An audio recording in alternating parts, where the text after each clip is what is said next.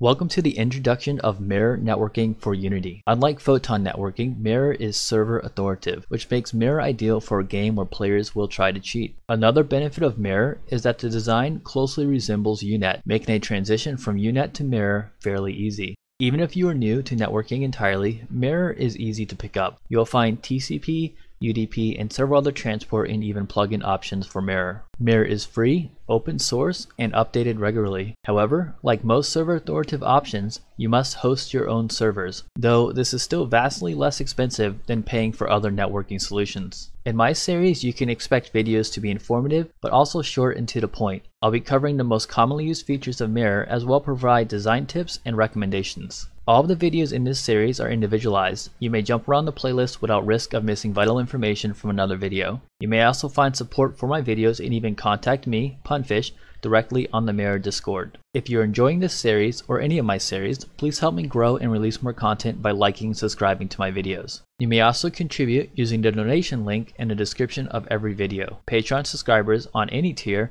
will also gain access to video source code files when available. And speaking of video descriptions, I have several links which may help throughout your development with Mirror in the description of this video. Don't forget, like and subscribe.